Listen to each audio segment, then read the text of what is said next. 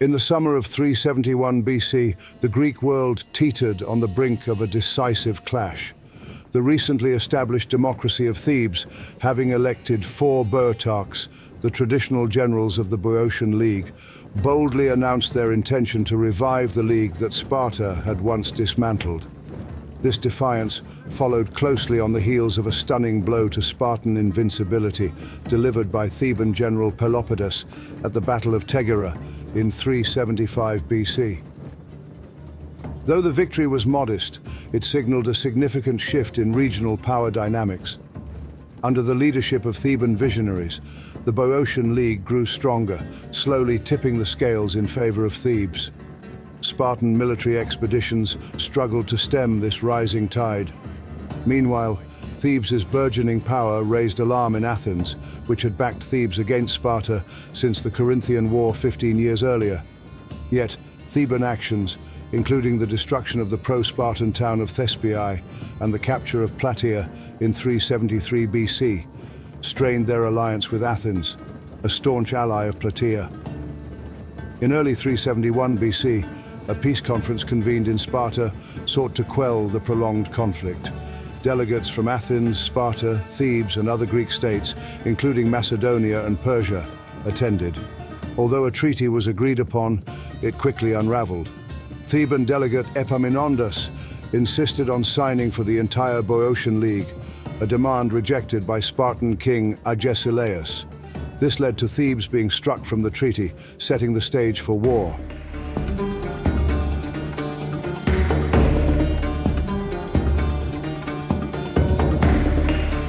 Epaminondas raced back to Boeotia to marshal defences, aware that Spartan king Cleombrotus I was already advancing.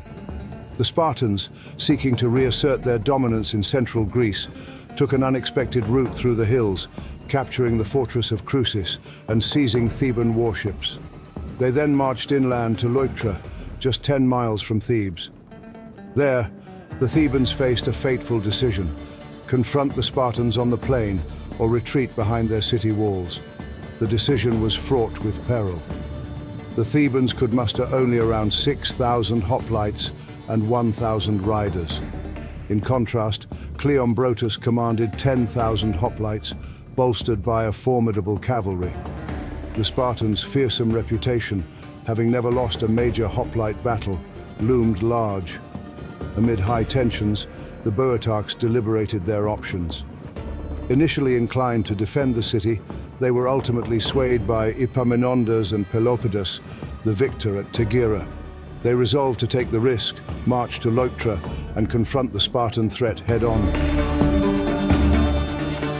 On the 6th of July, 371 BC, under the scorching Greek sun, the Theban army arrived on the plain near Leuctra, ready to face the formidable Spartans.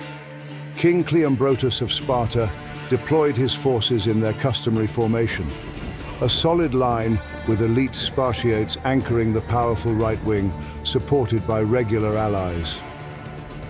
Unusually inexperienced Spartan cavalry took the precarious front position, perhaps a sign of overconfidence in their famed infantry's prowess.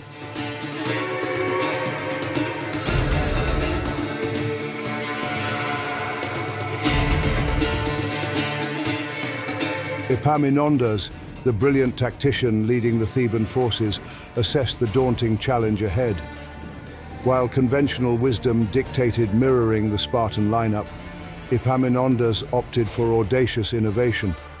He placed the sacred band, revered for their skill and valor under Pelopidas, on the left flank opposite the Spartans' finest. This strategic gamble was complemented by an unusually deep formation on the Theban left, aimed at overwhelming the Spartan elite and disrupting their formation. However, this left the remainder of the Theban line, comprising Boeotian allies, perilously thin and vulnerable. As the morning haze lifted, the clash began with a skirmish of cavalry, where Theban horsemen, superior in experience and numbers, routed the Spartan riders.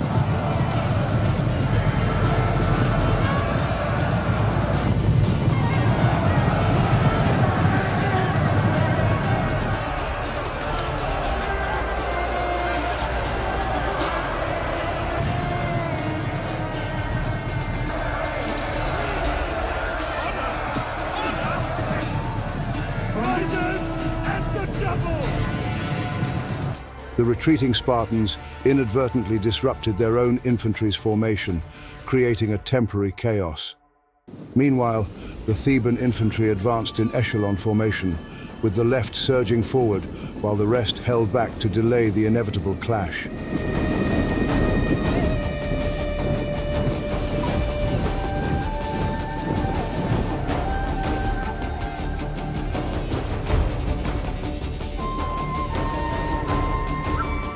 Cleombrotus, realizing the mismatched alignment of the Theban forces, urgently barked orders to reorganize.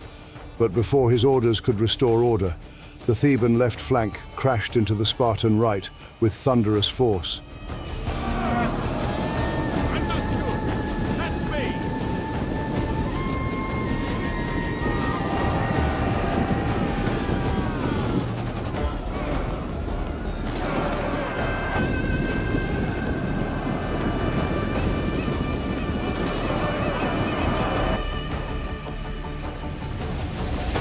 Amidst the cacophony of clashing weapons and the agonizing cries of the fallen, the Thebans gained local superiority.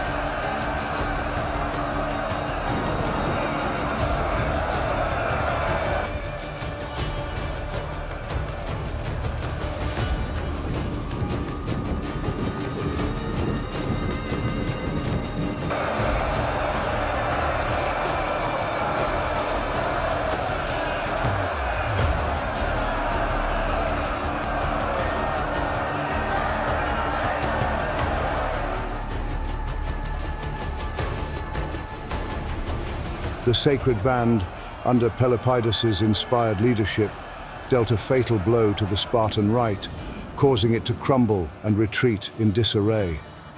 Many Spartan leaders fell in the melee, including King Cleombrotus himself, mortally wounded in the chaos of battle. With the Spartan right collapsed, the Theban center and right advanced, emboldened by their initial success. Epaminondas and Pelopidas prepared to flank the remaining Spartan forces.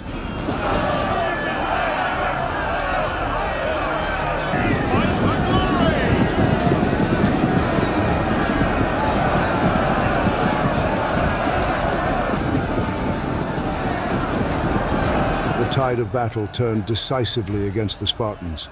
Tactical disarray and the loss of key commanders forced the remnants of the Spartan army to retreat hastily to their camp. The cost was staggering. Over a thousand Spartan warriors perished, among them 400 Spartiates and their king.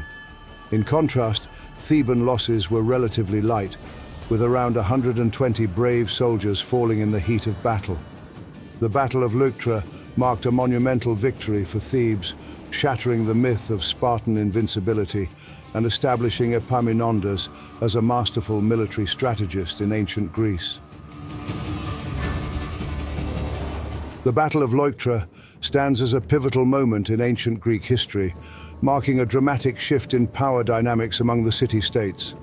Led by the brilliant strategists Epaminondas and Pelopidas, the Thebans achieved not only a decisive victory, but also shattered the myth of Spartan invincibility that had loomed over Greece for generations.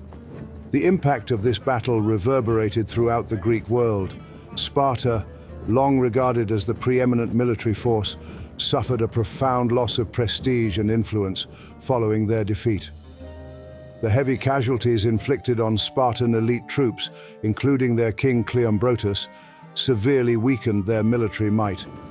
In contrast, Thebes emerged emboldened and ascendant, leveraging its newfound dominance to expand its influence across Greece. In the aftermath of Leuctra, Thebes rose to prominence as the leading city-state, surpassing even Athens and Sparta in power. This shift in the balance of power paved the way for Theban hegemony, reshaping the political landscape of ancient Greece. However, the repercussions extended beyond immediate gains, as the Battle of Leuctra also set the stage for subsequent conflicts and power struggles among the Greek city-states. Furthermore, the defeat of Sparta at Leuctra played a crucial role in weakening Greek unity against external threats. It left a void that was later exploited by Philip II of Macedon, who, inspired by the military innovations of Epaminondas, would rise to dominate Greece and lay the groundwork for Macedonian hegemony. The Battle of Leuctra thus marks a turning point in Greek history, not only for its immediate consequences on Sparta and Thebes, but also for its enduring impact on the trajectory of ancient Greece, culminating in the rise of Macedon and the Hellenistic era. On this channel, we are putting together narrative historical cinematic battles. Make sure to subscribe and thank you for watching. See you on the next one.